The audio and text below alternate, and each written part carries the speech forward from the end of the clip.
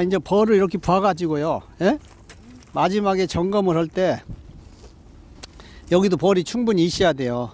예? 여기가 벌이 없으면 안 돼요. 그리고 여기 간격이 너무 좁아도 안 되고 지금 이게 이제 원래는 이게 약간 봉구졌을 때 포장을 해야 하거든요.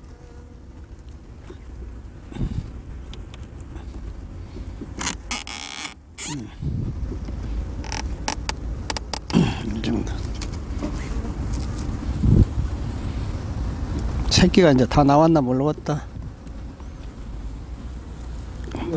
놓으세요.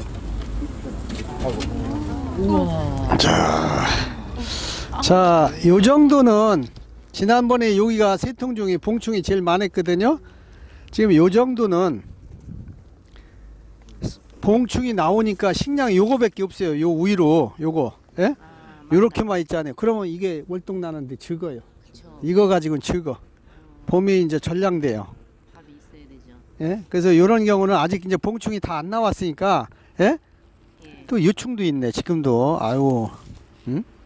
그만 길리하는데 이게 자꾸 길러서 안 좋은데 이게 왕을 안 가두면은 밥이 없으면은 자꾸 가요 여기가 밥이 꽉 차면은 안을 못 가는데 밥이 적으니까 여기 유충이 이만큼 있어요 지금도 다른 데 거 거의 없는데 여기 거는 응?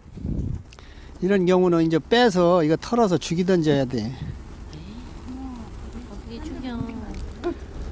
이것도 밥이 적네 예? 이것도 밥이 적어 예? 걸 넣어줘야 이것도 적어. 근데 봉충이 아직 덜 나왔어요.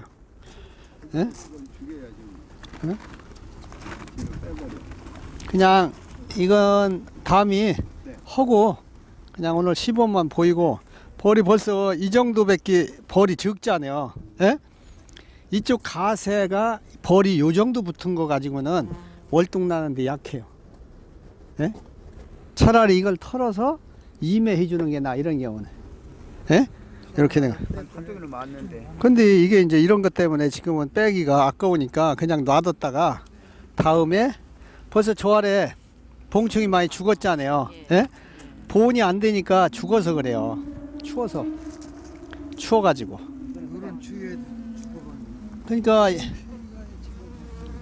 자 이제 요게 그냥 산매가 충분하게 된다 하면은 이제 포장을 할 때는 여기 벌들이 벌써 추운데 자꾸.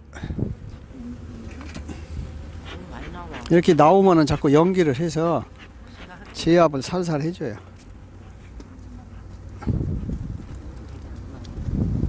밑에 네? 그냥 놔도 됩니까? 조금만 비켜봐요. 자 이런 거는 벌이 죽은 거요 죽는 거 기절했어요 추워서 예? 자 이런 거는 지금 그냥 놔두면 다 죽어요 이 벌이. 예? 이 벌이 다 죽는데 요거를 주워다가 넣으면은 살아요 어디로 나요? 예? 여기로?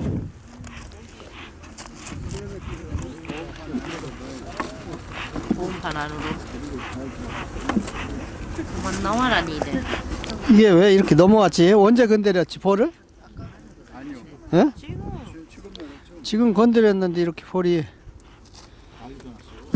예? 이 앞이를 좀 잘 하고 있어요. 지금 안 나오잖아요. 아 이제 나오네. 이, 아- 이 안에 있는 벌은 털어줘야 돼요. 죽으니까.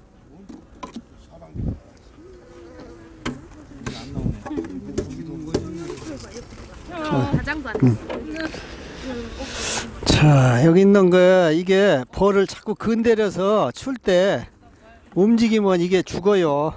그래서 출 때는 자꾸 보지 말아야 돼요. 예? 아이 벌 한 마리가 아깝죠. 벌 기르는 사람이. 자, 이렇게 기절한 벌은 금방 늦으면 살아요. 예? 이렇게 꿈틀을 해서 이건 놔두면 죽고. 그만해, 그만해, 연기. 자, 요, 요런 경우는 그냥 갔다가 여기다 이렇게, 아, 예. 자, 이렇게 하면은? 아, 이런 경우는, 갔다가, 밑으로 하면은, 밑에가 바닥이 추니까, 그놈이 못 올라가는 경우가 많아요. 예? 근데 요게 잘못 치면은 쏴요. 자, 이렇게 해서 여기 벌을 다 쫓아버리고 보온판 어디 갔어? 저 보온판을 이렇게 대주는 거예요. 그럼 이제 벌이 못 넘어오죠. 예?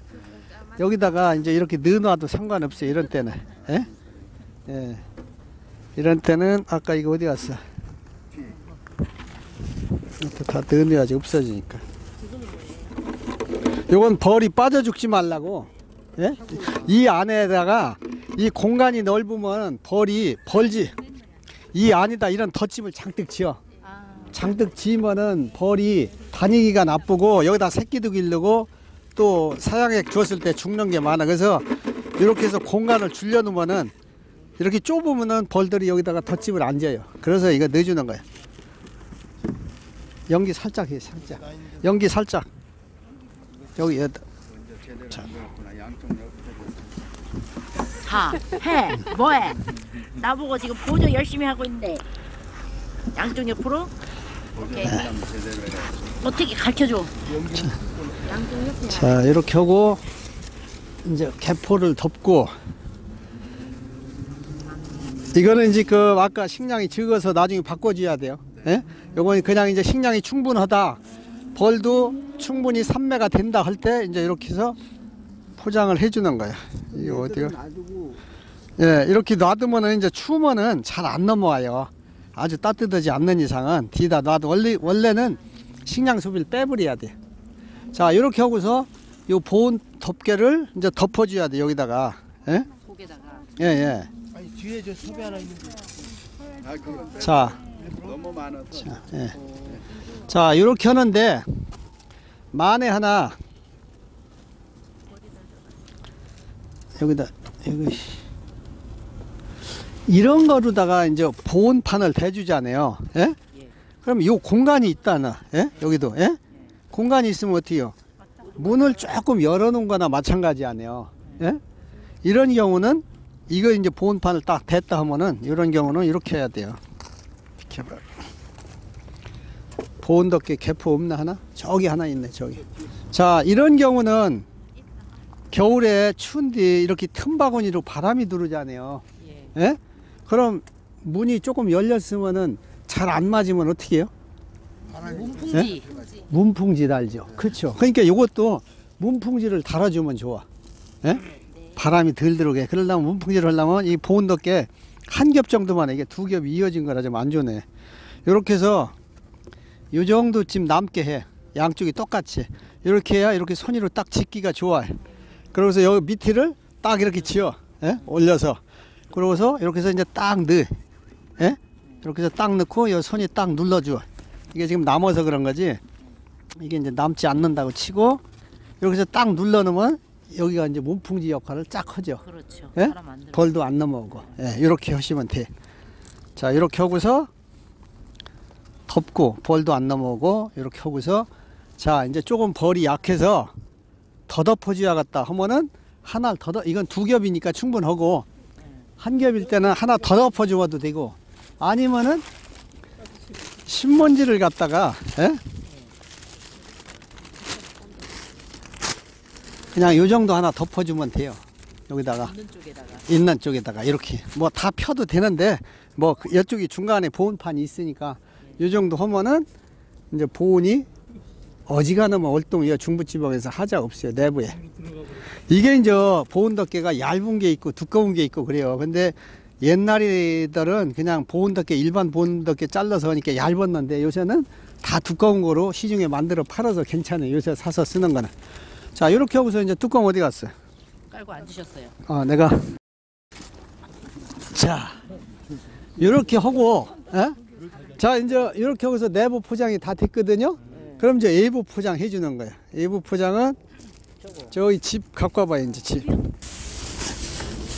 집으로 한다면은 이 정도 한 주먹씩 이 정도 이제 깔아줘야 돼요. 근데 이거를 그냥 이렇게 그냥 깔아도 돼요. 이렇게 예? 이렇게 쭉 갔다가 요 깔기 전에 뭘 해야 돼요? 땅에다가 원래는 이 벌통이 있다면 한 요 정도 정도 위치에 예? 세수랑이로 파요 땅을 파서 이렇게 올리고 이쪽도 파서 올리고 요걸 날 나라시에요. 그래야 빗물이나 눈 녹은 물이 요 볼통 위로 안 올라오게. 예? 그러고서 이제 빠지게 하고 그리고 이제 비닐을 갖다가 쉽게 해서 쫙 깐단 말이야. 예? 그다음에 이렇게 뭐 비닐을가 딱 깔았다. 습기가 올라오지 말라고 하는 거예요. 이게 젖지 말라고. 그래서 이제 이렇게 딱 채국채국 깔아. 예? 자, 이렇게. 음, 가만있어, 좀 있다가. 이게 비 이게 자, 아니, 아니, 그냥. 생각하래요. 아, 이렇게 쫙 지비로 깔아도 되고, 아니면은 이게 너무 길다면 이렇게 꺾기도 해요. 옛날에 요 기대해서 이렇게. 예, 이렇게 하는데, 그냥 이렇게 해도 나중에 여기 볼이 밟고 댕기고, 오히려 괜찮아요. 이렇게 해서 두께를 하고, 요거를 한번 들어봐요. 자, 이렇게 딱 놓고, 예? 이렇게 하면 이제 바닥은 보온이 됐어요. 예? 바닥은. 요 정도면은 이제 완격 갈 수도 있고 대신에 이제 또 스치로프 어디 갔어? 이제 또 스치로프로 하는 거 한번 해보자고. 야 들어봐요. 자 그쪽에다 치워 그냥 여기다.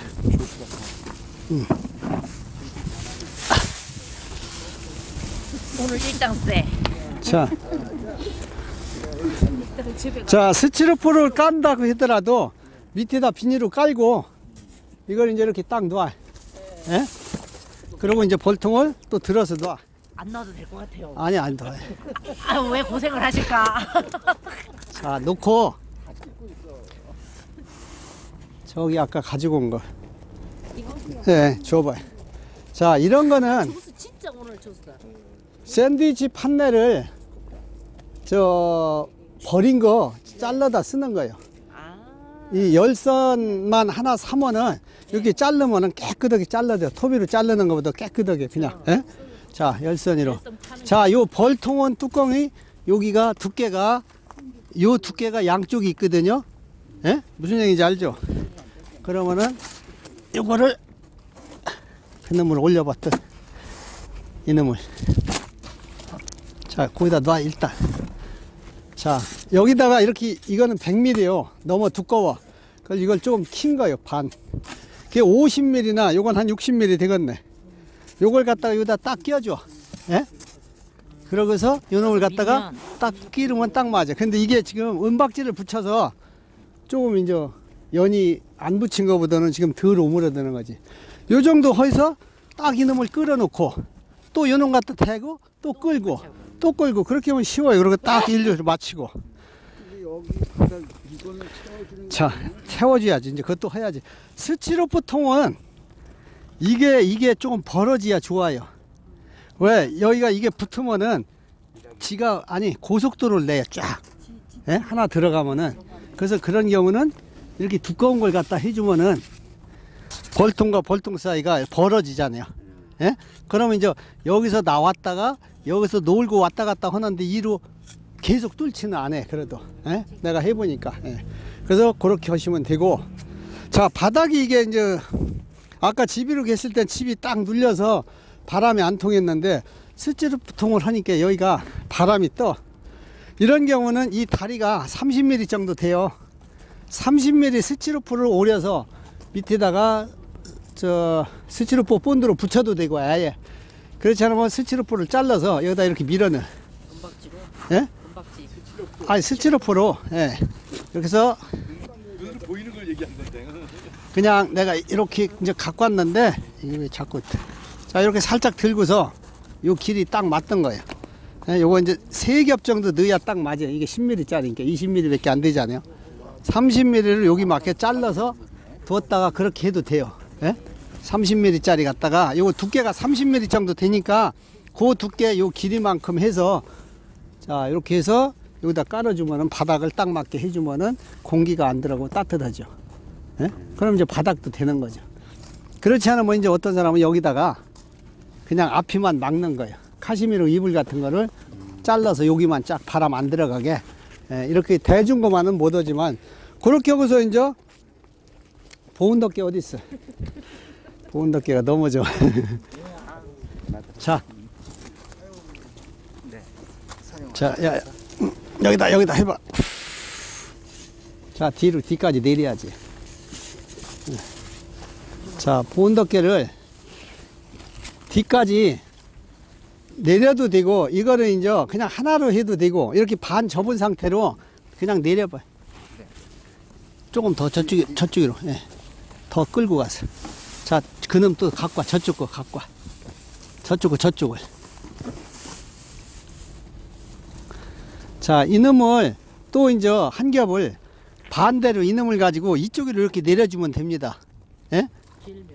아니, 이제 또 이쪽은 이렇게 덮고, 이쪽, 네. 요런 상태로다가 또 이렇게 덮으면은 요까지 내려오잖아요.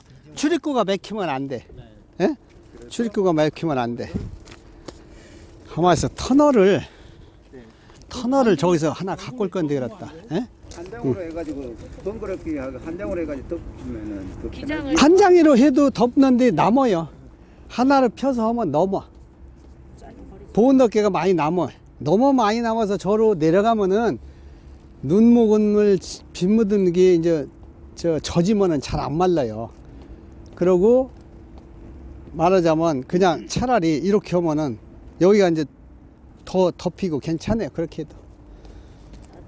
대신에 이제 보온 덮개를 이 지역에서는 이제 내부를 얼만큼 했느냐에 따라서 세 겹을 덮을 수도 있고 네 겹을 덮을 수도 있어요. 예? 그러면은 제일 위에다가 마지막에는 비닐을 또 하나 덮어 주셔야 돼. 왜 이게 비 오든지 눈이 오면은 녹은 물이 배에서 위만 젖으면 좋은데 자꾸 속으로 배 들으면은 겨울에 안, 안 말라요. 예, 예, 그래서 예, 그러니까 한 겹 그 위에다 덮으면은 복사열이 생겨요. 예? 복사열이 생겨서 낮이 이제 겨울이라도 여기가 따뜻했다가 해지면은 금방 내 추우면은 공기 중에 있는 습이 쫙 비닐 안에 했던 게 젖고 젖고 젖고 계속해서 안 좋아. 그러니까 이제 요거 한 겹 정도 벗기고서 여기다가 비닐을 덮고. 그래서 이렇게 덮고 또 위에다 덮으면은 바람이 이게 가만히 있지도 않아요. 예, 예. 중간에 덮으래서 비닐을 예, 예. 중간에 우위 하나 할 때. 주세요. 요만큼. 그리고 이제 비닐은 절대로 요 바닥서부터 이렇게 해서 요 위까지 하나로 통일을 하지 말아요. 왜요? 그러면은 따뜻해서 좋은 대신에 결로 현상 생긴 습이 날아갈 데가 없어. 그러니까 바닥 따로, 위에 따로. 예? 그러면 여기도 이제 이만큼만 내린다 하더라도 이런 데로 습이 공기가 통하니까 열이 통하니까 뭐 결로 현상 생겨서 습이 많이 생길 염려가 없어요. 예? 음.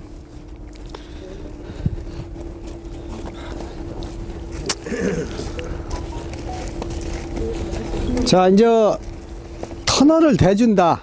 좀 더 추운 지역에서 할 때는 여기가 이제 출입구에 내년 봄에 이렇게 급수기가 꽂을 만큼을 남겨놔요. 예?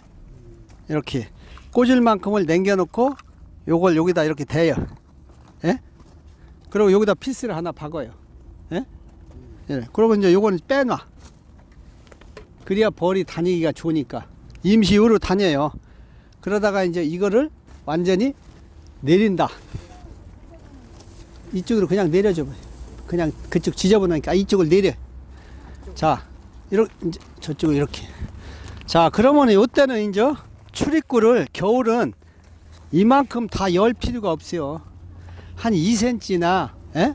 뭐이 정도만 해도 충분해요. 뭐 아주 적은 건 1cm 좀 더 되게 1.5나 아주 벌 좋으면은 3cm. 그래서 요거를 다 밀어서 막으면 돼. 예? 이렇게 하고서 더 요게 맥히지 않을 만큼. 예? 예. 이렇게 하고서 이렇게 하면은 군형 맞고 다닐 데가 여기밖에 없어요. 예? 그럼 벌이 요름만 다녀. 이제 참- 바람도 안 들어가고 찬바람도 안 들어가고 오히려 봄에도 따뜻해서 열이 잘 받아서 빨리 커요. 예? 무슨 얘기인지 아시죠? 네. 자, 기존의 터널은 요만큼밖에 못해. 기존의 터널을 만들어서 일자 터널은 요 정도밖에 안 되니까 여기가 뜨니까 어떻게 돼요? 바람이 오르다가 찬바람이 치어 그렇게 돼요. 그리고 또 벌이 자꾸 여기가 뜨니까 이 틈이로 월이 들어갈 데 없나고 자꾸 열을 달라붙어. 예? 그러다 보니까 강원도 같은 데 고냉지 지역에서는 일자 터널을 하고 여기다가 합터널 이렇게 딱 맞게 오려. 예? 그러면서 말뚝 받고 이로 쓰러지지 않게 하고 여기다 완결 채워요. 한 10cm, 15cm. 예? 예, 이 안에다가. 그럼 이제 다닐 때가 이렇게 그 합판이로 분영만 뚫린 다 이제 다니는 거죠. 이렇게 해서 한 여기 네 겹 정도 이렇게 중부지방에서 덮으면은 어지간 월동은 충분합니다. 월동 때도 결과는 조금만 해주고 잘 덮으라는 그리고 이제 얘기네. 내년 봄에 가서 다닐 때만 다닐 때만? 놔두고. 봄은 이제 봄벌을 시작한다. 그럼 이제 이놈을 살짝 들고 예?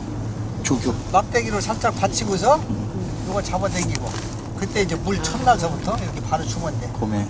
예? 바로. 예? 그러면은 편리하죠. 물걸 깰때 네, 바로 줘요. 첫날서부터 주는 게 좋아. 왜 그러냐면 월동 나고 나서 새끼가 없더라도 더운 물 줘야 되나? 아니야 아니야 그냥 찬물 주세요. 야는 자연이라 서로 얽기도 없건데 아, 뜨끈뜨끈하게 근데 이제 속- 속이라도 풀게 이거를 땀 내려주기. 때문에 영하 10도가 내려도 괜찮습니다. 아니 이게 이걸 내려주면은 이 벌이 열이 나는 공기가 출입구로 나와서 이게 얼지 않아요. 근데 그렇지 않고 봄에 다른 이 터널을 안고 벌을 기르면은 되게 요 정도만 내리거든요. 더 내리기가 어려워요. 자꾸 이게 벌 타니. 그럼 이렇게 해서 요게 조금만 덮이는 정도가 되면은 영하 5도 이상 되면 이게 깨져버려요.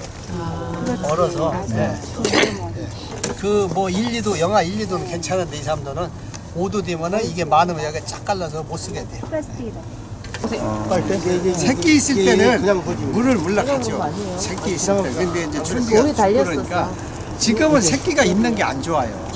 지금은 길러도 아까 바닥에 여기도 죽은 게 많이 있었거든요. 여기도. 예?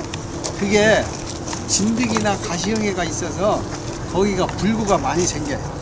그러니까 진드기나 가시형해가 없는 상태에서 늦게 태어나는 거는 그냥 병이 없으니까 나와서 제대로 어, 벌이 벌노릇을 하는데 그 중에 진드기가 많다, 가시형이가 많은 거는 마지막에 가서 그런 윙 바이러스가 옮겨서 피해가 많아요.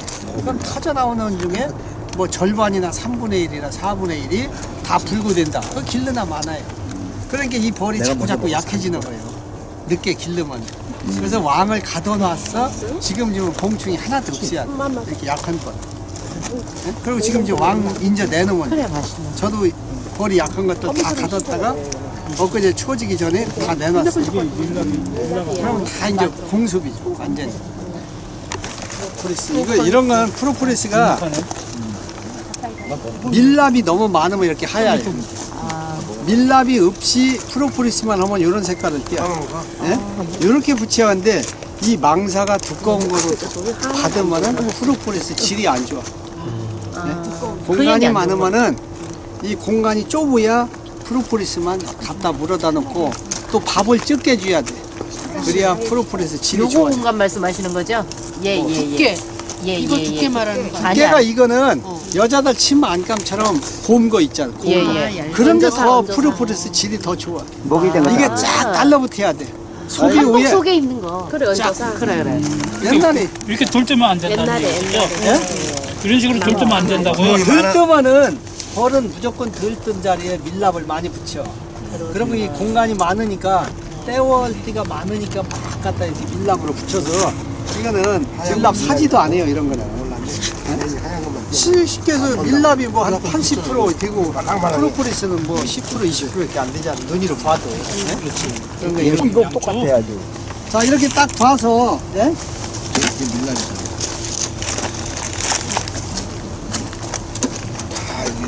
여기 벌이 이렇게 붙었으면은 예? 이걸 그냥 보온을 월동을 내면 안 돼요. 이 벌은 다 죽어버려. 예? 요 벌이 숫자가 적어서 추위를 못 견뎌서 다 죽고 죽은 다음에 이 벌이 여로 다시 넘어오지 않으면 괜찮은데 또 넘어옵니다. 언제? 날씨가 따뜻한 날. 따뜻한 날 여로 식량 가지러 와. 그렇다가 저녁 때 돼서 춥잖아요. 그럼 못 가고서 이렇게 또 저희끼리 옴대옴대 모여서 떨어져 죽고 떨어져 죽고 계속 죽어 조금씩 조금씩. 예? 티끌모아 태산이로 죽는 거예요. 그래서 언제든지 이 정도 벌이 붙은 정도가 여기가 이렇게 붙어 있어야 돼요. 예? 넘어와 있던 벌이 그래야 죽질 않아요. 그러면 그 소비를 빼야 되는 거야? 빼줘야 돼. 왜 그래? 원래요? 고기를 네. 근데 이거 어떻게 하냐고. 해달라고 그뭐 이 정도는 무조건 월동 포장할 때 빼야 돼요. 이렇게 되면은 춥더라도 예? 이걸 털어서 축소를 해줘야 돼요. 예? 그러니까 이쪽 소비를 축, 축소하라고요? 최소한도 이쪽 가해가 거리 이 정도라도 붙어야 돼요. 예? 그래야 양쪽으로 겨울에 그렇게 붙어야 되는 거예요. 그렇죠. 여기도 그렇고 이쪽도 그렇고. 예? 그렇게 안 되면 무조건 줄여줘야 돼. 그 이거 한쪽이 붙었기 때문에 안 된다. 아 이거만 이렇게 붙어서는 절대로 그냥 하시면 안 돼요. 아니 지금 여기 붙었잖아. 자 이렇게 붙으니까 여기에 벌써 죽은 거요. 예? 몇 마리가 죽은 게 여기 있던 게 추워서 떨어져서 죽고 다음에 또 따뜻해서 넘어왔다가 또 떨어져서 죽고 계속 추워서 내년이 봄 되면은 여러 마리가 더 생기죠. 예? 무슨 얘기인지 아시죠? 예? 털어야 되겠네요. 그럼 이제 이런 경우는 이제 털어야 돼.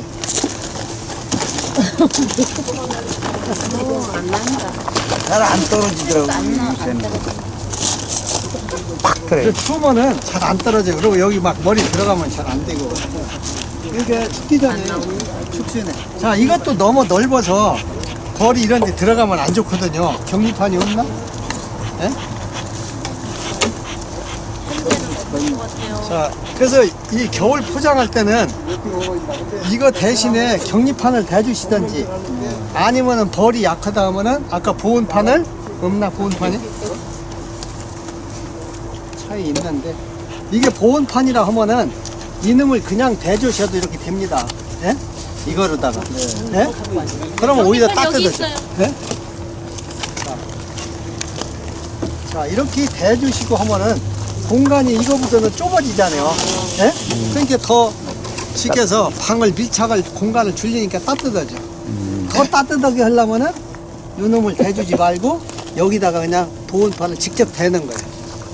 벌이 강한 거는 그렇게 하면 안 좋고 벌이 약하다 하면은 여기다 직접 보온판을 직접 대주는 거예요. 여기처럼 이쪽 가시처럼 여기도 뭐 격리판 됐네. 예? 자 이렇게 하면 이제 여기다가 보온판 대주고 아까 또 보온 덮개 덮고 이렇게 하면 이제 내부 포장이 끝나는 거죠. 이렇게 해야 여기 낙봉이 안 떨어져요. 예? 자 만약에 어떤 때는 벌을 너무 세게 붙이면은 어떤 결과가 나면 여기서 봉축이 많아서 터져 나와서 또 딴 데서 좀 들어와서 식구가 늘었다. 그럼 벌이 어디가 있느냐면 여기가 붙어요. 예? 여기 다 못 들어가고 많으면 여기 이렇게 붙어 있거든요. 그런 경우에 제들이 알아서 넘어가면 좋은데 못 넘어가고서 굶어서 죽을 때가 있어요. 추워서 폭삭 죽는 경우가 있어요. 그런 경우는 요거를 조금씩만 이렇게 한 5mm씩 넓혀놔요. 이렇게. 예? 벌이 들어갈 공간을 그러면 여기 많이 붙었던 벌이 여로 들어갈 때가 많아져서 쑥 다 들어가. 예? 그렇다고 해서 아주 많으면은 한 장이 많으면은 그냥 한 장을 더 넣어서 줄여주면 되지만 이해가 됐죠? 네. 자, 이 정도 하고 여기 정리해요. 이제. 네. 자, 그리고 추울 때는 이렇게 이런 데 떨어지면은 잘 못 올라가서 죽어요, 그냥. 이거 죽은 걸 어떻게 해요? 네? 죽은 그냥 놔둬야 돼요. 아니 아까 그 아까 썰어서 이렇게 얼른 올려, 올려. 이게 이제 한 이틀 넘으면은 죽어버려. 어제 저녁이 춥다든지 아침에 오늘 한 거는 가서 넣으면 사르면 사는데 에이 모르지.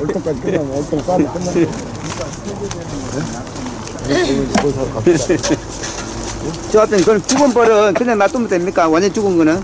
완전히 청소. 죽- 자기들이 이제 물어내고 아, 그렇습니까? 네. 너무 많으면 주워내지 않아요. 너무 많아서 출입구가 막히면은 그리고 그리고 아까 사형동 그냥 그냥 그 자리에 놔두면 그냥 이 겁니까? 뒤다 놓으면 됩니다. 사형- 만약에 격리판도 없다 하면은 이거를 이렇게 돌려놓으세요. 뒤로. 벌이 여기 못 들어가게. 이쪽으로 놓으면 들어갔다가 쳐서 못 나가는 거 있어요. 그리고 뒤집어 놓으면은 얘가 돌리면은 벌이 이쪽으로 못 넘어가지.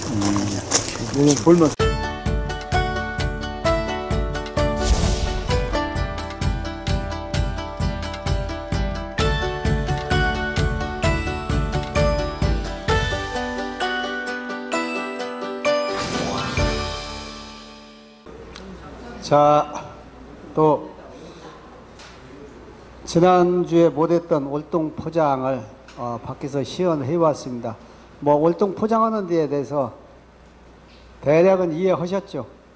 예, 초보자들이 월동 내고서 어, 죽는 경우가 많다 보니까 월동을 어떻게 해야 되나 걱정하는데 벌 숫자만 한 장에 많이 붙여주고 식량만 충분하고 보온 기본적으로 어지간히 해주면은 겨울에 죽지는 않습니다.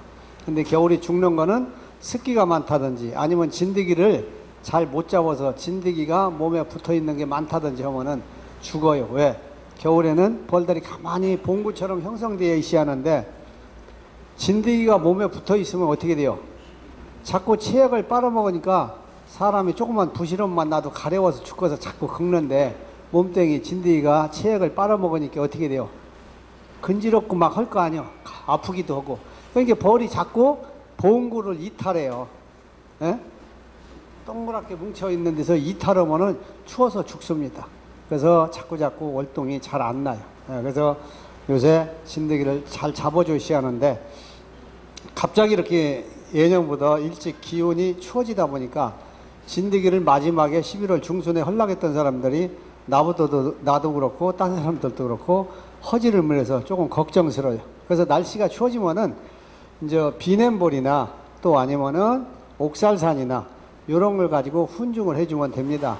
왜? 그거는 온도가 12도 이하에서 어, 옥살산 종류는 휘산이라고 해서 이 날아가면서 진드기를 죽일 수 있는 살충력이 생겨. 온도가 높을 때는 그게 약해.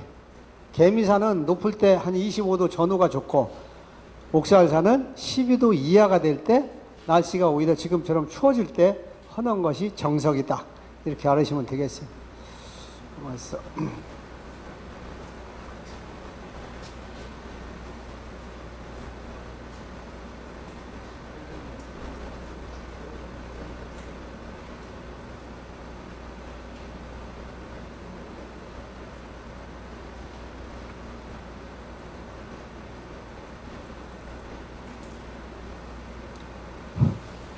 자, 오늘 그럼 밀원의 에, 중요성, 밀원에 대해서 강의를 하도록 할게요, 먼저. 어쨌거나 여러분들은 양봉 관리 기술을 배우려고 오셨지만은 사실은 밀원은 꿀벌 관리하는 데 있어서 아주 중요해요. 그러니까 기술이 없어도 꿀만 계속 들어주면 벌이 잘 됩니다. 왜? 꿀이 들어오면은 저녁에 선풍 작업을 하고 선풍 작업을 하면은 벌통 안에 온도가 높아서 자기들이 온도와 습도를 높이기가 수월하고 여건이 좋으니까 그냥 벌이 잘 돼. 기술이 없어도.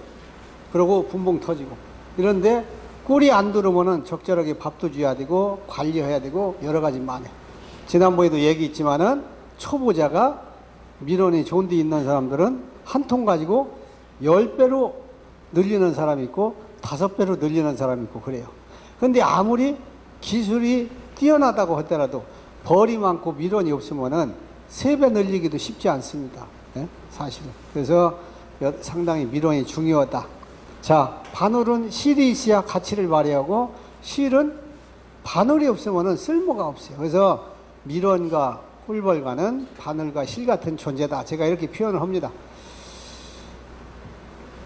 자, 지구상에는 약 35만 종의 식물이 있는데 꽃이 피는 성물이 약 25만 종. 이 중에서 우리나라에 약 4,600여 종의 관속식물 중에 2,500여 종의 경제적 가치에 있는 식물이 있다. 밀원식물로는 그 중에서 한 500여 가지가 있는데 그 중에서도 꿀을 뜰 수 있는 거는 몇 종류 안 되고 나머지는 뭐 그냥 그 자기들 먹이라든지 뭐 이렇게 어 화분을 뭐 제공한다든지 이런 정도의 에 어떤 밀원으로서의 제공만 하고 있는 거죠. 자, 유럽에는 만 3천년 전에 마지막 빙하기를 겪으면서 어떻게 보면 빙하가 덮으니까 지구상을 모든 식물이 다 죽어버려. 그러다 보니까 그 위에 태어난 식물들만 있다 보니까 종이 우리나라보다 적다고 합니다. 식물학자들 얘기로는. 자, 우리나라는 삼면이 바다다 보니까 저쪽에 시베리아에서부터 빙하가 내려오다가 바다에는 덜 춥다 보니까 이게 오면서 녹업이라서 우리나라는 빙하가 덮치질 않았어요. 예, 그래서 우리나라 식물이 다양합니다. 그러니까 여러분들도 꿀을 팔 때 다른 유럽이나 이런 데보다는 우리나라 식물이 다양해서 어, 이런 데서 꿀을 물어온 거기 때문에 더 값어치가 있다. 이렇게 하셔도 됩니다. 어. 자, 통당 생산량에서 어, 캐나다 같은 데가 높은 편이고 중국도 높은 편이에요. 통당 평균 한 75kg, 한 서말 정도 뜨는 거예요. 캐나다 사람들은 우리나라에서는 전업농가들이 통당 한 50kg. 그렇지 않으면 고정하는 사람은 뭐 20kg, 15kg 몇 대중 없는데 평균적으로는 한 10, 뭐 3kg 내지 한 16kg 이 정도밖에 안 됩니다. 우리나라에서는. 예.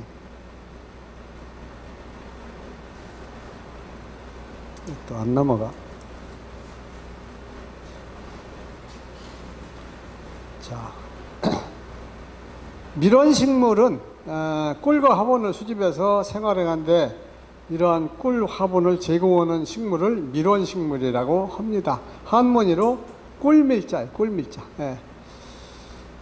밀원의 종류는 주밀원이 있고 보주밀원이 있어요. 예. 보주밀원은 글자 그대로 그냥 먹고 사는데 보탬이 되는 이런 밀원을 보주밀원이라. 주밀원은 그 꽃에서 아가시아나 유채나 뭐 밤이나 자기들이 먹고 남아서 꿀을 우리가 생산할 수 있는 것을 주밀원이라고 우리나라에서 그 나라마다 주밀원이 조금씩 조금씩 틀립니다. 자 일본 같은 데는 우리나라처럼 아가시 나무가 많지 않아요. 왜? 아가시 나무가 천근성이라고 해서 뿌리가 깊이 들어가지 않으니까 태풍이 자주 오는 일본에서는 아가시 나무 심어 놓으면은 산사태의 주범이고 그놈이 떠내려와서 다리나 이런 데 하천을 막아버려서 큰 범람을 하기 때문에 오히려 아가시 나무를 심질 않습니다. 그래서 땅속으로 깊이 들어가야 이님이 태풍에 견뎌서 괜찮지만 아가시 나무는 뿌리가 양옆으로만 뻗어서 힘이 없어요. 바람 세게 불으면 팍 넘어가 버려요. 예. 자, 천연밀원, 그냥 자연적으로 발생한 밀원, 사람이 심어서 생기는 식재 밀원, 또 목본 밀원이라는 것은 나무로 나무 종류로 된 밀원, 또 초본 밀원은 풀 같은 거 어, 이런 데에서 나오는 것을 초본 밀원. 또 꿀과 화분이 이렇게 같이 나오는 밀원이 있는 반면에 화분만 나오는 거 대표적인 게 벼나 옥수수 같은 거는 꿀은 하나도 없고 화분만 잘 들어옵니다. 농작물 밀원 쉽게 해서 참깨나 들깨나 뭐 해바라기나 이런 농작물 밀원이 있는 방면에 잡초 잡초가 뭐 이게 또 밀원이 되는 게 꽤 많습니다. 예. 또 과수밀원 사과나 배나 복숭아나 밀감이나 뭐 매실이나 이렇게 과수밀원이 있고 화해밀원 뭐 세르비아라든지 아니면은 하다못해 채송화도 꿀이 꽤 나요. 예, 이런 것도 화해밀원이 되고 여러 가지 꽃들이 많이 있습니다. 뭐 접시꽃도 있고 사료작물 밀원, 어, 또 녹비작물 밀원, 뭐 가축의 사료를 시- 주기 위해서 알, 대개 뭐 크로바라든지 알팔파라든지 이런 것들이 사료작물 밀원이 되겠죠.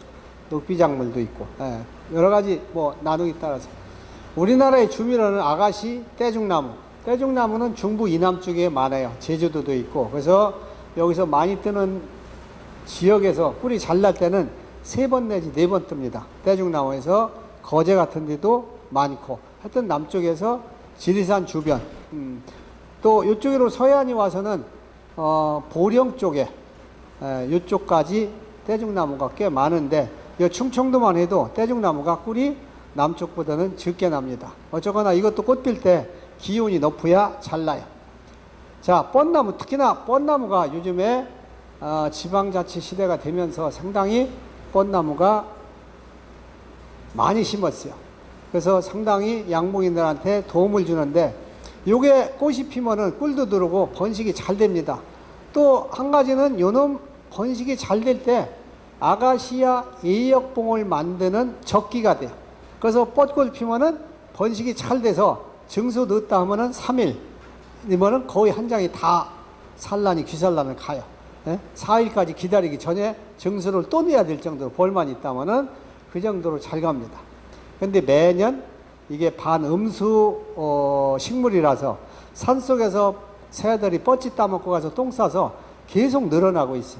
그래서 매년 10% 이상씩 늘어나지 않는가 이렇게 생각이 듭니다. 그래서 앞으로 10년 후에는 우리나라의 아가시나무 다음에 제2 밀원이 될 확률이 높습니다. 자, 그 다음에 피나무. 피나무가 우리나라 오대산이나 설악산이나 저쪽에 강원도 고냉지 지역만 있어요. 근데 외정시대 일본 사람들이 요거를 연필 만드는 데 최고의 좋은 나무가 피나무예요. 결이 좋아서. 그래서 그때 큰 나무는 다 벼갔어요. 공출 다 해갔는데 지금은 다시 커가지고 수십 년이 지나다 보니까 지금은 오히려 또 피나무가 그쪽에 꽤 많은데 단지 우리나라에서는 피나무가 좋은 밀원이지만은 7월에 장마 때 꽃이 펴요. 그러니까 비 올 때 꽃이 피니까 아무 어떻게 보면 값어치가 없어져요. 그래서 우리나라에서는 좀 별론데 대신에 북한 지나서 만주 쪽에 가면은 이 우리나라 장마전선이 올라가다가 거기 가서는 소멸시켜 없어져 버려. 없어지니까 거기는 비가 안 와요. 비가 안 오니까 쉽게 해서 동북 삼성이라고 해서 흑룡강성이나 길림성이나 이쪽에서는 피나무가 주밀원이에요. 백두산 쪽에서 주밀원인데 통당 40kg 내지 50kg 정도 뜹니다. 우리 아가씨꿀 뜨는 것처럼 그 정도 떠요. 거기서 주밀원. 자, 유럽에도 주밀원이 아가씨하고 피나무예요. 음, 피나무가 상당히 좋은 밀원이다. 이렇게 알으시면 되겠어요. 뭐 감로골 작년하고 재작년에는 우리나라에서 아, 미국 선녀벌레가 들어와서 사상 유례 없는 감로골이 나와서 세 번, 네 번, 때로는 뭐 다섯 번까지 이렇게 체밀도 한 사람 있는데 올해도 감로골이 잘 날 줄 알았는데 그 정도는 아니고 뭐 한 번 내지 두 번 정도 이렇게 체밀을 한 사람들이 있습니다. 자 대추나무도 어, 우리나라의 보은 쪽하고 저쪽에 어, 경상도에 경산 쪽에 대추가 집단위로 하는데 여기서 대추나무에서도 꿀을 뜹니다. 뜨는데 밀원수 중에는 제일 꽃이 오래가는 밀원수가 대추나무가 아닌가 싶어요. 이건 대추는 미리 핀 것이 져서 대추 알갱이가 상당히 컸는데도 그때 이제서 또 꽃 피는 게 있어요. 대추가 오랫동안. 자, 감나무. 많이는 안 나지만은 한 번 정도 꿀을 뜰 정도의 감, 감나무에서 꿀이 들어옵니다. 자, 보조밀어는 뭐 여러분들이 옛날에는 개, 개가죽 나무를 가로수로, 아, 비포장도로에 가로수로 많이 활용을 했는데 도시 주변에 이런 데 많이 있습니다. 또 버드나무, 감나무, 고엽나무도 상당히 벌이 좋아해요. 살구나무, 산초나무, 무찔레, 샤시레피나무. 샤시레피나무라는 것은 저쪽에 여러분들이 화환 뒷받침에 동백나무 이파리처럼 이렇게 돼 있는 게 있어요. 이파리가 어, 상록수로다가 이렇게 아주 새파랗게 겨울이 돼 있는 거. 요걸 가지고 샤스레 피나무라고도 하고 또 우리 양봉업계에서는 저 뭐라 그래요? 가수렉이라고도 합니다. 가수렉. 네. 제주도에 많고 전라도 지역에 많아요. 경남 지역보다는 전라도 쪽에 이게 많아서 양봉인들이 봄벌 길러 갈 때 저걸 보러 갑니다. 일찍 피기 때문에. 네. 자, 꿀이 좀 구린내 비슷하게 납니다. 꿀이. 예. 자, 크로바도 있고, 농작물 밀어는 벼, 유채, 해바라기, 뭐, 참깨, 들깨, 자수, 콜, 여러 가지가 있어요. 요 율무 같은 것도 화분이 잘 들어옵니다. 수수 같은 것도 잘 들어오고, 옥수수 잘 들어오는데, 화분이 질이 좋은 편은 아니에요. 자, 뭐, 여러 가지 어지간한 거는 다 농작물 밀어내서 화분이 들어온다든지 해서 보탬이 됩니다.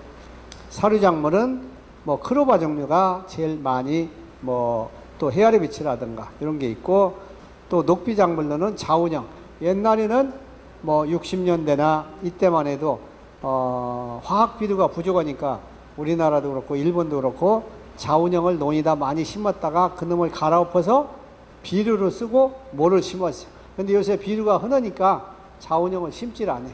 그래서 자연적으로 어 논두렁이나 또 아니면 하천변에 나는데 하천이 큰 강 같은 게가 많은데 여기 이 저기 자운형이 꿀이 들어옵니다.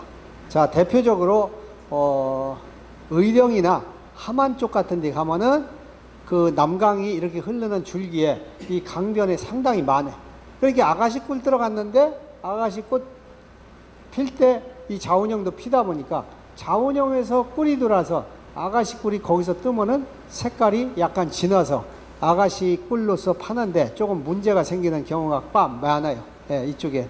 그래서 옛날에는 논에다 심었는데 요새는 거의 없어졌다. 아, 그래서 일본 사람들은 제일 좋아하는 게 뭐예요? 자운형 꿀이에요. 자기네가 논에다 심었다가 하는데 어, 일본의 지금 기후현 같은 데서는 어, 논에다가 휴경논을 했을 때 어떻게 돼요? 농민들이 거기다가 논농사를 안 짓는 대신에 대신에 자운형을 심으면은 일정 얼마 돈을 더 준다 그래. 그래서 또 양봉 농가들이 씨를 갖다 주고 트랙터로 심어서 또 꿀을 뜨는 이런 어, 지역도 어, 없지 않기 때문에 우리나라도 앞으로 휴경론이 많이 생긴다면은 이런 것도 한번 양봉인들이 같이 노력할 가치가 있지 않을까 생각돼요. 자, 과수밀은 사과, 밀감, 밤 여러 가지가 있습니다. 근데 사과나무나 복숭아에 배나 제일 문제가 뭐냐면은 그동안은 살충제 적과약을 썼어요. 세빈이라는 세빈이라는 적과약을 치는데 이건 살충제인데 갖다가 꽃이 폈을 때나 꽃이 졌을 때 약을 치면은 약이 독하다 보니까 어떻게 돼요? 꽃송이가 말라 비틀어 죽어버려. 그러니까 적당하게 섞어지는 거예요. 사람이 일일이 다 많이 열리면 섞어주려면 힘든데 그래서 이 세빈을 과수업자들은 있어야 된다. 우리 양봉인들은 없애야 된다. 이거 조합장할 때 제가 상당히 가서 많이 싸움을 했어요. 그래서 결국은 지금 세빈이라는 농약을 없앴습니다. 자, 동남아에 가면 용안이라는 과수나무가 있어요. 용의 눈같이 생겼다 해서 용안. 여기서도 꿀이 잘나서 이 사람들이 한 서너 번씩 꿀을 뜬다고 합니다. 두 번 내지 세 번. 자, 화염일은 코스모스도 있고 사루비아도 있고 리트라, 채송화, 유리꽃, 백일홍 여러 가지가 있어요. 자, 아가시나무, 북나무 같은 거. 옛날에는 북나무가 많아서 꿀을 떴는데 요즘 북나무가 어, 도루변에만 조금씩 있고 강원도 산골에 별로 없어요. 왜? 나무가 수명이 짧아. 또 거기다가 크질 않으니까 숲이 우거지면 죽어버려. 그래서 개온나무하고 북나무가 옛날엔 많았는데 지금은 많이 사라진 밀원입니다. 80년대까지만 해도 북나무에서 꿀을 떴어요. 북나무 꿀은 차에 오일, 모비로 하고 똑같습니다. 색깔이 푸르스름하게 맛도 좋고 향도 좋고 상당히 좋았어요. 근데 꿀이 좀 잘 끓어올래. 에, 갖다 두면은 농도가 약할 때 그런 단점은 있지만 맛도 괜찮고 좋았습니다. 화분도 아주 입자가 크게 황색으로다가 잘 두릅니다. 자, 뭐 여기 단풍나무도 봄에 꿀이 좀 두릅니다. 아, 또 갯버들도 두르고 여러분들이 심을 수 있는 거는 모감주나무라든지 아니면은 뭐 헛개나무 또 헛개나무도 꿀이 잘 돌아요. 어, 또 주엽나무, 황병나무 이런 것도 다 괜찮습니다. 요 백합나무가 요새 산림청에서 나무를 수중갱신을 하는데 제일 많이 심어주는데 우리가 밀원수를 많이 심어주고 있다 하는데 어, 아가시 나무 꽃 필 때 백합나무가 같이 펴요. 꽃이 무궁화 꽃처럼 큽니다. 근데 꽃 그 아래 어, 꿀샘이 중간에 있- 아래가 있는 게 아니라 중간에가 있어. 중간에 이렇게 빨갛게 띠가 있는데 거기서 꿀이 줄줄줄 흘러서 아래가 고이는데 많이 고일 때는 아침에 이슬하고서 이만큼 고입니다. 예, 그래가지고서 어, 벌이 잘 물어오면 좋은데 아가씨 꽃 필 때는 아가씨 꿀은 쌀밥이고 이 백합나무 꿀은 보리밥이야. 그러다 보니까 벌들이 귀신같이 알고 쳐다를 안 봐. 그러니까 산림청에서는 밀원수라고 딥다 떠들지만 우리 현실의 양봉인 입장에서 보면 아니다 이거 백합나무. 단지 우리나라가 앞으로 어떤 뭐 아가시나무가 순환이 됐다든지 그냥 어떤 병이 발생해서 다 없어졌다. 그랬을 때는 이제 그때는 할 수 없이 백합나무의 꿀을 가지고 오겠죠. 그래서 아가시나무가 없는 지역에서는 1년에 한 두 번 정도 꿀을 뜬다고 합니다. 다른 나라에서.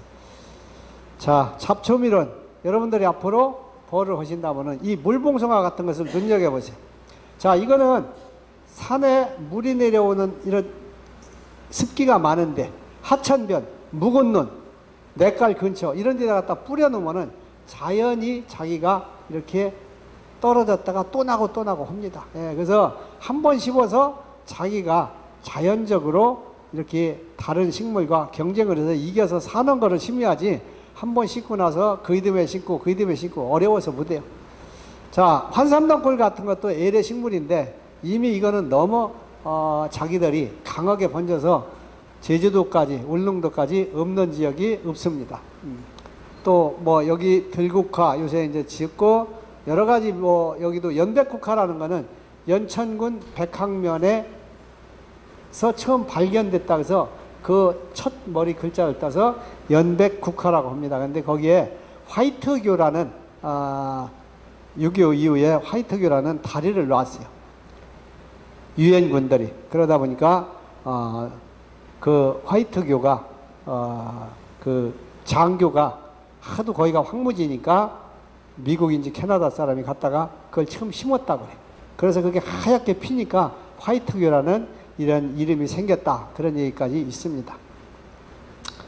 엉겅퀴도 있고 쑥도 있고 또 화분이 들어오고 도입 밀원으로는 Vitex Vitex도 꿀이 잘 난다 해서 심었는데 중국에서는 어, 만리장성이 있는 북경 북쪽에 가면 이 Vitex가 돌산에 엄청나게 많아요. 그래서 거기 있는 데서는 3, 4회 정도 채밀을 할 정도예요. 거기다 3대 추어고 Vitex에서. 근데 이게 Vitex가 나무가 좀 찍어가지고 다른 나무가 우거지는 데서는 맥을 못 써요. 그늘지면 소용없어요. 그래서 하천변이라든지 습기가 있는데 다른 나무가 없는 지역에서는 가능합니다. Vitex.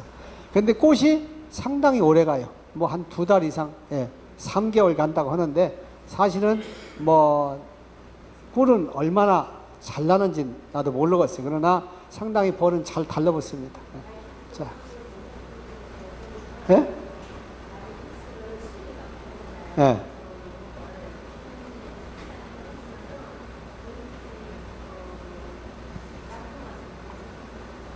예, 어쩌거나 이게 꽃이 오래 가다 보니까 자주 색 색깔이 피는데 오래 가니까 옛날 선배들도 저 나무를 갖다가 외국서 도입에다가 심었었습니다. 근데 사실 많이 심어서 누가 채밀할 정도의 그 정도 했다는 얘기는 없고 어쩌거나 보조민으로서는 괜찮습니다. 예. 자, 뭐 Solidaster라는 것도 있어요. 이게 뭐 아니면은 어, goldenrod와 비슷합니다. 유럽에 가면은 철로변이나 도로변에 황무지 같은 데에 여름에 가면은 노랗게 피는 꽃이 있어요. 그게 아, Solidaster라고도 하고 또 goldenrod라고도 하는데 화분도 잘 들어오고 꿀도 조금씩 들어와요. 근데 우리나라에는 아, 요게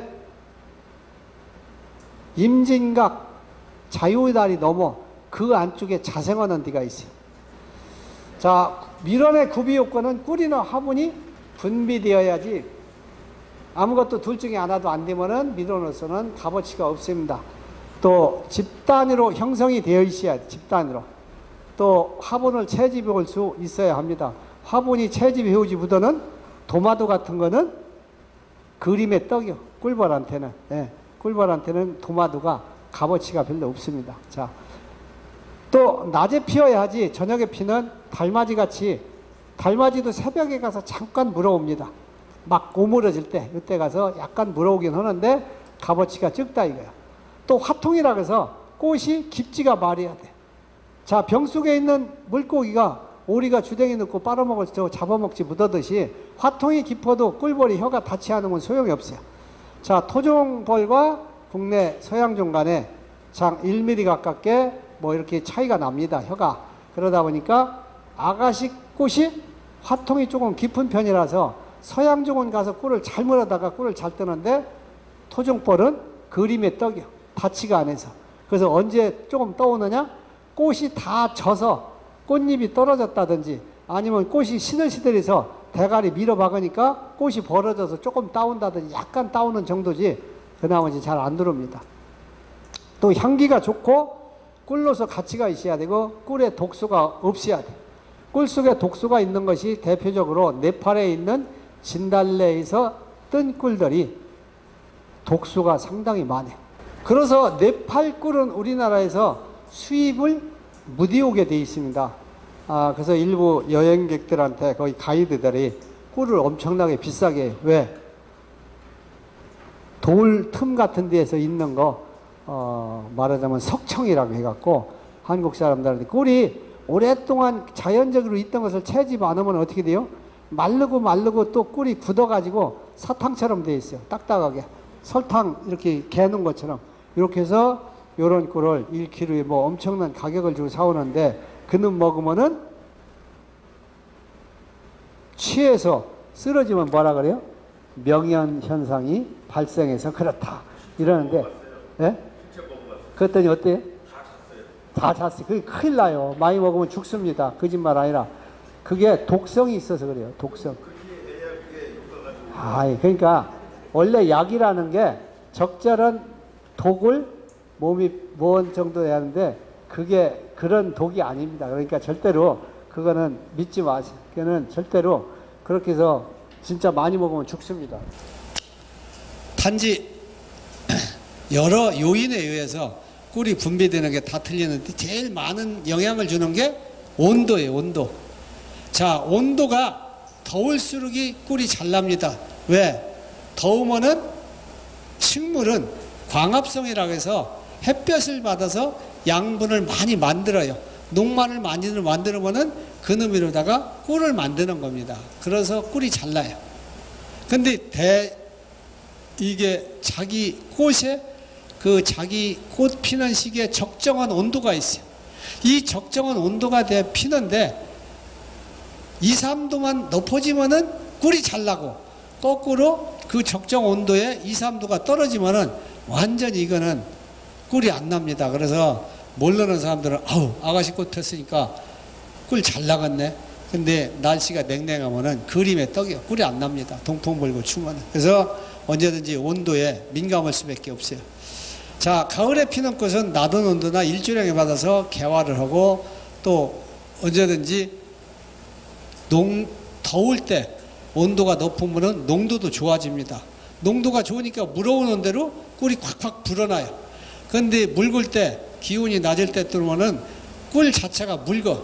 묽으니까 이놈을 가지고 저녁 동안에 계속 날개로다가 부채질을 해가지고 밤새 말리고 나면은 아침이 푹 줄어버려. 예? 그래서 묽은 꿀이 들 때는 꿀이 잘 안 늘어납니다. 자, 높으면은 많고, 낮으면은 적고, 농도는 좋고, 여기는 묽고, 개화 기간은 보통인데, 낮을 때는 꽃이 조금 하루나 이틀 정도 이렇게 길게 갑니다. 아주 낮으면은. 자, 대신에 온도가 높으면은 개화 기간이 짧아집니다. 자, 아가씨 꽃을 폈는데 29도, 30도 시흥 지역에서 올라간다. 이러면 꽃이 생각보다 일주일 갈 게 6일이나 때로는 5일이나 이렇게밖에 안 갈 수도 있어요. 5.5일이나. 예. 자, 밀원별로 어, 제가 그동안에 양봉을 해가며 경험해서 어, 요거 얻은 상식인데 자, 유채는 18도에서부터 28도 될 때 잘 잘난다. 어, 이렇게 보시면 되겠고 최적 온도는 한 20도 넘어야 꿀이 더 잘 납니다. 아가시아는 24도에서 30도인데 한 26, 7도 이때가 제일 꿀이 잘 납니다. 30도가 나오면은 꽃이 빨리 접이래. 더우면은 사람도 더운 데서 사는 사람은 수명이 단축되는 것처럼 꽃도 더우면은 수명이 짧아집니다. 자, 크로바는 27도에서 33도 사이에 잘 나고 식물들이 보편적으로 35도가 넘으면은 잘 안 난다 그래. 자, 쌀이는 기온 차이가 밤과 낮의 온도 차이가 많이 나야 꿀이 잘 나. 자, 낮에 더울 때 광합성을 해서 양분을 많이 사- 만들어 놓고 저녁에는 추워서 뿌리로 가기 전에 그냥 잎이 저장하고 있다가 그놈으로 바로 꿀로 만들어내고 이래야 잘 납니다. 그래서 어, 쌀이꽃은 해발 뭐 300m, 400m, 500m 이런 지역에서가 꿀이 평지보다는 잘 나는 편해요. 자, 옛날에 78년도에 내가 양봉원 역사에 꿀을 제일 많이 떴어요. 쌀이꿀을. 그때 벌 한 차당 한 12도라모씩 떴습니다. 세차 할 때 쉽게 해서 꿀 30몇 도라모 떴는데 이게 기록이에요. 기록인데 그에 아침에 일어나면 안개가 쫙하게 찌고 추워서 강원도에서 천원에서 텐트에서 잠자고 나면 달달 이렇게 떨고 참 불지야 좋을 정도로 이렇게 했어요. 그러면 낮이 되면 또 따끈따끈 올라가고. 근데 쌀이 꽃이 아주 산에 낮이 보면은 아주 붉고 축축하게 꽃이 펴서 꿀이 아주 잘 났어요. 자, 4일만 누르면은 꽉 차고 봉개까지 해가지고 꽉 차고. 그러니까 종업원 애들이 제발 꿀 좀 안 났으면 좋겠다. 왜? 벌을 세차를 하니까 오늘, 내일, 모레 3일 꿀 뜨지 않아요. 그 다음날 4일째 되는 날 뭐라 해요? 꿀 뜨려면은 도라무가 있어야 하잖아요. 지금은 꿀 담는 도라무가 전용 도라무가 나오니까 괜찮지만은 70년대만 해도 전용 도라무가 없었어요. 그럼 뭐에다 담아야 돼요? 기름 도라무. 휘발유나 경유나 이런 도라무를 사다가 불로다가 확 굽니다. 불을 놔서 뜨겁게 해서 그 페인트가 아주 다 탈 때 아주 깨끗하게 탈 때까지 해서 기름을 깨끗이 태워. 그럼 그 안에 제가 녹난 게 많잖아요. 그럼 자갈하고 모래하고 물 넣고서 계속 문질러서 비벼가지고 그 안에 녹을 싹 벗겨요. 벗기고 나서 모래 자갈을 또 다 빼. 조금씩 나면 다시 녹이 나. 그럼 바로 물 조금만 남겨놓고 거기다가 밀을 밀덩어리를 이 정도를 넣고서 어떻게 돼요? 불에다가 살살 뜨겁게 달궈서 밀로다가 안에 코팅을 싹 합니다. 조금 너무 뜨거워서 타면은 밀냄새가 꿀에서 나기 때문에 아주 신경을 써서 해. 그렇게 해서 하루에 두 개 정도 또 도람을 닦는 거예요. 두세 개. 두 개 내지 세 개. 그러면은 매일 꿀 뜨는 거와 마찬가지 힘든 거예요. 예? 그러니까 3일 꿀 뜨고 하루 도람을 닦고 3일 꿀 뜨고 하루 꿀 3일 꿀 뜨고 그렇게 한 열 며칠을 하니까 아주 조원들 꿀좀 제발 안 났으면 좋겠다. 그에 봉개 꿀 밀도질에서 봉개 깎은 것만 딱 내린 꿀도 몇 말 받았어요. 몇 말. 그것만 받은 것 같다. 자, 밤꿀은 온도가 높고 습도가 높을 때 꿀이 잘 납니다. 뻔나무도 온도가 높아야 꿀이 잘 난다. 이렇게 알으시면 되겠고 종류별 뭐 자, 습도도 영향을 줍니다. 너무 건조해도 꿀이 안 나요. 식물이 자기가 생활하는데 적당해야지 내가 죽겠는데 꿀을 만들 여력이 없어요. 자, 적당한 온도는 본인이 제가 생각했을 땐이 정도 습기가 있는 게 좋지 않을까. 자, 특히나 꽃이 작은 꽃들은 쓰면 꿀이 메말라 버려요. 대, 대체적으로 밤꿀이나 대추나무나 이 꽃이 작은 것들은 꿀이 조금 묻어 있는 것을 아침에 가서 이슬하고 같이 섞인 것을 물어오야 하는데 낮에 햇빛이 받아서 건조해지면은 쫙 말라서 비틀어지는 거예요. 그러면은 물어오질 묻습니다. 그래서 밤꿀은 언제 꿀이 잘 나요? 불쾌 지수가 높을 때. 불쾌 지수가 높을 때는 언제? 습도가 높고 온도가 높을 때가 불쾌 지수가 높습니다. 그래서 밤꿀은 장마지기 직전에 항시 비가 한번 살짝 와요. 비가 오고 나서 꽃이 다 져갈 때쯤에 마지막에 암꽃이 필 때쯤에 요때 밤송이가 맺힐 때 요때 꿀이 제일 잘 들어옵니다. 그래서 누런누런 꽃이 다 져서 이제 밤꽃이 끝났구나 하는데 오히려 꽃은 얼마 안 남았는데 꿀은 그때가 잘 들어요. 밤꽃은. 예. 그래서 습도가 높아서. 자, 토양에 뭐 수분도 적당히 있어야 되고 양분도 있어야 되고 2004년에는 아가씨나무가 아주 흉년이 들었어요. 대흉년. 예년 평균에 뭐 15% 20%밖에 생산이 안 됐습니다. 농사 지어서 예년에 10% 20%밖에 생산이 안 됐다면은 이건 진짜 난리법석을 펴도 보통이 아닙니다. 여러분들이 벼농사 해서 20%나 10%밖에 생산이 안 됐다고 쳐봐요. 농민들이 살겠어요. 근데 그 해는 양봉업계가 완전히 꿀이 아주 대흉년이 있어요. 왜? 아가씨 잎 혹벌레가 들어와가지고 전국으로 번져서 이 아가씨 잎 혹벌레가 새순이 나오는데 이파리에서 영양분을 긁어 저 빨아먹다 보니까 아가씨 나무가 잎이 피질 묻어는 게 얼마 그러다 보니까 광합성을 묻어고 오히려 나무가 고사해서 6월달 되니까 다 가을에 낙엽지듯이 노랗게 단풍이 들고 이러다 보니까 그의 대흉년을 맞았어요. 그래서 이제 큰일 났구나 했는데 다시 그래도 많이 죽었다가 다시 아카시 나무가 회복돼서 지금은 또 언제 그랬나 했듯이 회복이 된 상황입니다. 그러다 보니까 이때 중국에서 아카시 꿀이 밀수로다가 보따리로 수입해서 돌아가지고 여기에 중국 꿀이 클로람페니콜이라는 항생제가 나와서 우리나라 꿀이 다 클로람페니콜 나온 것처럼 매스컴에 나와서 상당한 우리 양봉인들의 damage를 입었었어요. 자 이렇게 감을 때는 댐 근처나 강 근처에 가면은 아침이 되면 어떻게 돼요? 아지랭이가 많이 올라옵니다.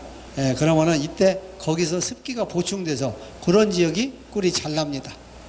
자 남쪽 지역은 경상도 같은데 가보면은 석산이 많아요. 돌이 많다 보니까 가물으면은 아가시 나무가 맥을 묵서 그냥 빌빌빌빌 됩니다. 그러다가 중부 이북 쪽에서는 그래도 황토 땅이다 보니까 아, 토양이 그래도 깊어가지고 그래도 가뭄은 견뎌서 꿀이 잘 납니다. 예. 자 그러나 비가 온 후에는 온도가 남쪽과 추풍령을 경계로 해서 북쪽과의 엄청난 차이가 있어요. 왜? 이 추풍령에 이 소백 산맥이 쭉 노령 산맥까지 이어지면서 서북풍을 막아주다 보니까 충북 영동하고 김천하고 산하나 능선 사이지만은 김천에서는 비온 후에 온도가 높아서 꿀이 쏟아지는데 영동에서는 꿀이 잘 안 납니다. 제가 영동 양강을 벌세 차를 몇 년 갖고 다녀봐서 알아요. 왜 안 날까 보니까 그때 보니까 온도가 낮아서 안 나는 거예요. 온도가 그때 이제 내가 터득을 해서 양봉업계 이런 것을 많이 글로 써주고 강의도 해주고 이렇게 했습니다. 그래서 그 다음서부터는 내가 어느 지역이 온도가 높아서 꿀이 잘 나라 이런 것만 찾아다녔어. 그 후서부터 그 전에는 그냥 꽃만 피면은 가는 줄 알았는데 아니더라. 엄청나게 차이가 많습니다. 네. 자 비가 오면은 벌이 역사를 할 수 없기 때문에 아, 역사를 자 꿀을 물어올 수가 없고 또 산성비가 내릴 때는 피해도 있고 특히나 아가씨꽃 폈을 때 1차 아가씨꽃 폈을 때 자 벌들은 꽃이 피면은 비가 오는데도 부슬부슬 오는데도 벌이 막 나가요 왜? 아가씨 꽃 향기가 너무 좋기 때문에 벌들이 볼 때는 환장을 해 한마디로 그러다 보니까 비 맞아가면 막 나갔다가 꽃에 앉아서 꿀을 빨다가 온도가 떨어지니까 이때 온도가 뭐 12, 3도 이렇게 떨어지니까 어떻게 돼요? 추워가지고 몸에 굳어서 다시 돌아오질 못해요. 돌아오지 못하는 강을 건너는 거나 마찬가지. 그래서 이렇게 첫 번에 가서 어, 이동해 갖고 비를 맞으면은 봄내 두껍게 잘 길러놓은 벌들이 예역봉을 하루아침에 싹 날려보냅니다. 두 장, 세 장, 네 장까지도 날라가요. 계산 같은 경우. 그러다 보니까 벌이 갑자기 썰렁해가지고 계상을 단상위로 내린다든지 반위로 줄인다든지 막 이렇게 합니다. 3분의 1을 줄인다든지. 그래서 언제든지 남쪽으로 1차 아가시아 꽃을 보러 갈 때는 일기예보를 예의주의시서 내가 가서 출입구를 열어서 벌을 따놨을 때 바로 비가 와서 벌이 나간다 하면은 이살 가지 말아야 돼. 차라리 비 온 후에 하루 늦게라도 가는 게 낫습니다. 그래서 언제든지 어, 이 겪어보지 않은 사람은 모르지만 어, 겪어본 우리들은 절대로 가지 말라 그래. 차라리 꽃이 미리 펴 있으면 미리 가서 꿀맛을 좀 미리 본 거는 비 오면 나가지 않아요. 근데 하나도 못 본 거는 환장해서 나가서 떨어진다. 이렇게 알으시면 되겠어요. 뭐 적정한 강수량이라든지 뭐 한 번에 적은 비가 오는 게 좋다든지 자 바람이 불어도 꿀이 잘 안 납니다 또 식물이 바람이 불으면은 꿀 분비하던 것을 딱 닫아버려 그래서 동풍이 분다든지 하면은 식물이 꿀이 잘 나가다도 오히려 있는 꿀도 빨아 들어가는 것 같아요 그래서 분비량이 감소하고 또 우리나라에서는 태백산맥을 기점으로 해서 팬현상이라 해서 동풍에서 서쪽으로 불 때는 이 태백산맥을 넘어서 쭉 내려오는 아래쪽으로 내려갈수록 탄력을 받으면서 온도가 올라가요. 그래서 온도가 올라간 지역에서는 꿀이 잘 나. 거꾸로 서풍이 불어서 동해안 쪽으로 불어서 넘어가면은 동쪽으로 태백산맥을 넘어가면서 이 아래에 가서 울진이라든지 삼척이라든지 이런 됐는 지역이 꿀이 쏟아지게 잘 나요. 온도가 높아가지고. 그래서 이팬 현상이 올 때는 동풍 불면은 동쪽에서는 온도가 20도도 안 내려서 벌이 나가지도 못하고 또 안개가 쪄서 벌이 나가서 못 들어오는 것도 많고 피해가 많지만은 오히려 서풍이 불으면은 서쪽보다 꿀이 훨씬 잘 난다. 이렇게 알으시면 되겠어요. 뭐 동풍을 보통 새바람이라고 하는데 에, 식에서 동풍 물면은 꿀이 잘 안 납니다. 또 태풍이나 토네이 같은 강한 바람이 불어도 나무가 스트레스 받고 꽃잎도 떨어지고 잎도 떨어지고 이러면은 벌도 역사해가며 벌도 떨어지고 오기 때문에 꿀 분비도 안 된다. 이렇게 알으시면 되겠어요. 자, 표고 따라서 꽃이 화기가 찰나요. 또 꿀 분비량도 차이나. 100m당 0.5도씩 차이가 난다고 합니다. 그래서 300m 차이가 나면 개화 시기가 4, 6일 정도 차이가 나서 한 번 이동한 효과가 된다. 대표적으로 우리나라의 북한산이나 도봉산이 있는 이런 지역에서는 산이 그 정도 높다 보니까 어떻게 돼요? 다른 데 이동하지 않아도 아가씨 화기가 길기 때문에 앉은 자리에서 꿀을 네 번까지 뜹니다. 아, 황진 자리에서. 자, 대략적으로 뭐 약간의 차이는 있지만 1800m까지는 해발 목본 식물이 이렇게 성장을 하지만은 그 이후로는 초본 식물들만 자라고 있다. 이걸 가보시면은 여러분들이 잘 아실 수 있어요. 또 2800m가 넘으면은 전혀 식물이 없는 돌만 무성한 이런 산을 볼 수가 있습니다. 우리나라 쌀이는 아까 밤낮 기온차가 나야 꿀이 잘 난다고 했는데 해발 이 정도 300에서 700m 이런 데서가 기온차가 많기 때문에 꿀이 잘 난다고 알으시면 되겠어요. 자, 표고가 높을수록 음지에는 음지식물, 양지는 양수식물이 잘 자라는데 피나무나 음란은 높은 곳에서 많이 분포하고 있는데 우리나라 오대산이나 설악산이나 이런데 피- 저기 음나무도 많아요. 음나무도 많은데 음나무 꿀이 들어오면은 잘 들어오면은 두 번도 뜹니다. 음나무 꽃이 향기가 상당히 좋아요. 자, 음나무 꿀이 벌통에 상당히 꿀떨 정도 차 있다. 그럼 내가 이 교실보다도 더 떨어진 데까지 갔을 때 벌써 꿀 향기가 나한테 확 들어. 벌통에서 나는 효- 꿀 향기가 상당히 좋습니다. 또 그 음나무에 가지고 있는 그 말하자면 항산화 물질이 그 꿀 속에도 들어 있다고 합니다. 그래서 음나무 꿀 떠가지고 한 대에 한 15만 원씩 이렇게 꿀을 파는데 15만 원이 얼마에 꿀 안 돌아오면은 얼마예요? 왜 150만 원만 돼? 한 마리 150만 원이지. 한, 한 드럼. 그렇죠. 그러니까 이러한 특수한 밀원은 상당히 정말 많이만 꿀을 뜬다면은 상당한 양봉 농가에 도움을 줄 수 있다. 뭐 여러 개 많이 뜰 거 없잖아요. 예. 자, 주로 고산 지역에는 침엽수가 있고 아, 낮은 지역에는 화렵수가 주로 분포한다 이렇게 돼 있고 자 봉건수와 밀원 면적인데 자 벌반 꽃반이다 하면은 꿀이 잘 안 납니다. 그래서 나무에 가서 항시 벌의 역사하는 숫자를 자꾸 봐보려 돼. 하루아침에 그게 익혀지지 않습니다. 매년 봐서 내가 통계로 머릿속에 입력이 돼요. 아, 가보니까 벌이 왕왕왕왕 분봉 나온 소리가 난다. 그럼 이게 벌이 많아서 꿀이 잘 안 나요. 근데 벌이 잘 보이지도 않을 정도로 더러더러 역사를 한다. 그러면은 이게 꿀이 잘 납니다. 예, 잘 나. 예. 자, 그러고 식물은 수정이 되면은 해서 나 볼장 다 봤어요. 내가 수정된 다음에는 꿀을 분비할 이유가 없어요. 예, 그래서 벌이 많아서 수정을 빨리 시키면은 끝난다. 대표적으로 철원이나 이쪽에 뭐 기마라든지 늦은 지역의 3차 밀원에 가면은 벌들이 마지막으로 그거로 다 모여요. 봉화에 춘향 같은 데로 또 마찬가지.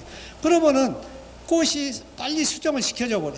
벌이 워낙 많이 와서 움직이다 보니까 그러면은 마지막에 꽃이 남아 있는데도 꿀이 분비를 하지 않습니다. 그래서 그런 지역은 잘 그런 것을 감안해서 이동을 하셔야 돼요. 자, 항시 벌 소리라든지 이렇게 다댕이는 것을 보면은 어, 매년 보면은 알 수가 있습니다. 그래서 어, 왜 그러냐면 벌이 어디 어디 놔 있는지 사실은 양봉가가 다 헬리콥터 타고 다니며 보는 것도 아니기 때문에 알 수가 없어요. 그래서 단지 가서 밀원이 많은 데 가서 벌이 얼마나 왔나 적었나 어, 온 소리만 보고 눈으로 확인하면 알 수가 있습니다. 자, 일부 지역에서는 또 양봉을 배우고 내 지역에 일부 벌들 오지 말아라. 장뜩 남는데 시계에서 나는 배불러서 밥을 한 양판 갖다 주면은 먹겠어요? 내 양밖에 못 먹는데 남는 밀어는 욕심을 넘어 내지 말아라. 제가 부탁을 드리고 또 전업 농가들이 내가 가보니까 딴 데보다 꿀이 안 난다면 오라고 고사 지내도 안 갑니다. 꿀 들어 다니지 전시하러 가는 건 아니기 때문에 그래서 이런 거는 서로 정보를 공유해 가면서 같이 공생할 수 있도록 이런 마음가짐을 가져야 될 거로 봅니다. 자, 초기하고 전업 농가들은 마지막 거 조금 남은 것만 피해주면은 전업 농가들한테 큰 피해는 없습니다. 자, 토양. 토양도 토질이 좋아야 좋죠. 영양이 충분해야 꽃이 어, 또 영양 생장을 하는 애가 있고 생식 생장을 하는 해가 있습니다. 그러니까 이게 과일나무 같은 것을 적절하게 전지를 해서 솎아줘서 과일이 적정하게 맺으면은 매년 꽃을 이렇게 피지만은 그냥 다 놔두면 한 번에 꽃이 많이 펴서 열매가 많이 맺게 되면은 그 나무가 한마디로 기운이 다 빠졌어요. 기가 없으니까 그 다음에 씨를 맺어서 종족을 번식을 여력이 없으니까 그 다음에는 해거리 헌해서 열매를 꽃을 적게 핍니다. 그러고서 이제 한 해 다시 잎을 펴서 광합성을 해서 영양을 많이 축적하면 그 다음에 또 열매를 많이 맞고 그래서 해거리 한다고요. 해거리. 자, 자, 알카리성 토양에서 꿀 분비와 당 함량이 특히나 높습니다. 특히나 크로바 같은 거는 어, 이런 알카리 땅에서 잘 저 꿀이 분비가 잘 됩니다. 또 질소나 인산이나 칼륨이나 이런 부족한 땅에서는 꽃송이도 작고 꿀 분비량도 감소한다든지 개화 기간도 짧다든지 특히나 쉬나무 같은 것은 수유나무로 두고 경상도에서는 소독나무라고 하는데 이 기름 짜서 옛날에 기름 없을 때 호롱불 키던 이 기름을 이거로 다 조달했어요. 그래서 서울견교나 강화도 같은데 옛날에 임금이 강화도 가서 임시 거처하다 보니까 이런 데 많이 있습니다. 지금도. 그리고 저쪽에 충주 쪽에 가면은 우리나라 시멘트 그 광산들 있잖아요. 이런 지역에 석회석이 많아요. 석회석이 많은 지역에 이 쉬나무가 잘 자라고 꿀도 잘 나옵니다. 밀원별 좋아하는 토양, 뭐 이런 사질 양토 뭐 참고로 알아주시고 수령 일찍 어린 나무가 일찍 개화하고 늙은 나무가 늦게 개화합니다. 또 성목이 되어야 꽃수도 많고 꿀 분비량도 많다. 동물이나 식물이나 노년계 늙으면은 정력도 약하지만은 꿀 분비도 저조하다. 또 쌀이 나무는 산불이 난 후에 싹 타고 나면은 다른 나무들도 없고 오히려 병이 있던 것도 싹 죽고 이러다 보니까 쌀이 나무가 산불 난 후에 꿀이 잘 납니다. 그래서 옛날에는 휴전선 근처에 가면은 봄 되면은 포사격을 차고 군인들이 아군이나 북한이나 했어요. 포사격을 해서 바짝 메말라 있는 상태에서 거기서 불이 납니다. 불이 나서 바람 타고 번지면은 끌 수가 없어요. 그냥 타요. 그러다 보니까 수십 년간 전방에는 어떤 지역에 가면은 아주 나무가 거의 종자가 없었어요. 예? 거기 쌀이만 있는 거예요. 그러다 보니까 쌀이 꿀이 그때 잘 난 겁니다. 자, 지금 남북 통일이 된다면은 북한에 가면은 틀림없이 쌀이 꿀은 잘 뜬다고 보여야 돼. 왜? 계속 나무를 베어서 나무가 없으니까 쌀이만 무성해. 근데 우리나라가 지금 숲이 우거지면서 쌀이는 다 그늘져서 죽어버렸어요. 그래서 없습니다. 예, 단지 몇 년 전에 동해안 쪽에 삼척 쪽에 큰 불이 났잖아요. 거기는 지금 쌀이 나무가 그런 데로 좀 있습니다. 아직 숲이 우거지지 않았기 때문에. 자, 아가씨 나무는 30년, 40년까지만 늙어서 쓰러져서 자꾸 다른 화렵수한테 자기 살던 데를 뺏깁니다. 자, 모르는 국민들은 아가씨 나무가 산을 황폐화시킨다 하는데 아가시아 나무가 황폐한 산성토양에서는 잘 자라지만은 이놈이 땅을 토지를 알카리로 중화시켜줘요.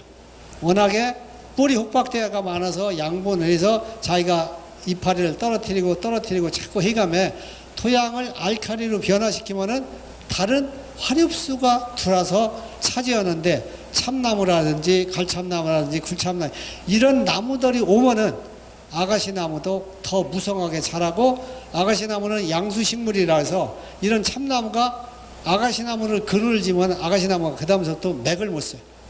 그래서 이미 숲이 완전하게 우거진 데는 아가씨 나무는 점점 점점 쇠퇴해서 오히려 알카리로 토양을 만들어주고 자기는 대물림을 하고 떠납니다. 그래서 60년대, 70년대 초에 이때에 아가씨 나무를 사방조림을 했던 땅들이 지금은 거의 화렵수가 많이 차지하고 아가씨 나무는 많이 없어졌다. 여러분들이 그렇게 알으시면 되겠습니다. 그러고서 이제 다시 그 아가씨 나무가 어디로 갔느냐? 철로변이나 도로변이나 또 개가 는 데나 나무가 없는 데나 산불 난 데나 이런 데서는 또 다시 다른 나무가 없으면 거기서 무성하게 자랍니다. 자, 일장 하루에 해가 얼마나 기냐 또 짧으냐에 따라서 더운 곳부터 일찍 개화하는 식물이 있는 방면에 추운 지역에서부터 일찍도 개화가 돼서 오는 식물이 있습니다.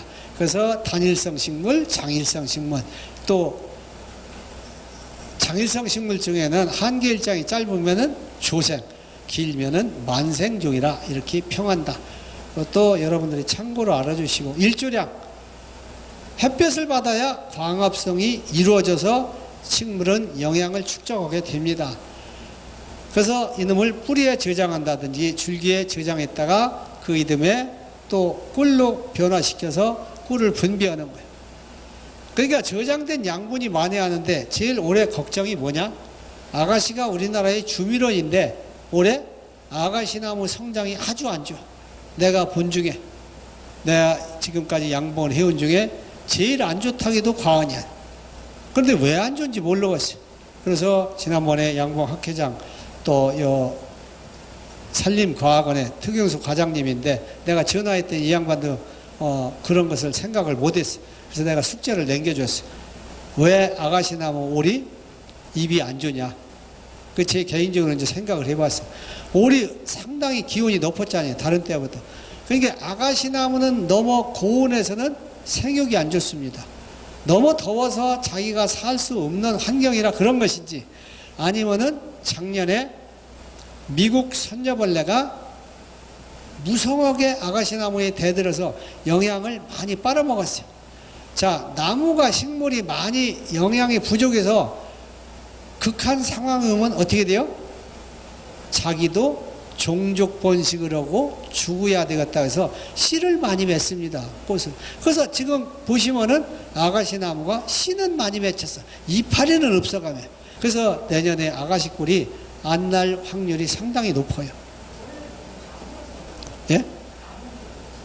가뭄도 왔지만은 나중에 비가 또 왔는데 그때 늦게라도 막 가지가 나오거든요. 근데 아주 안 좋아. 올해.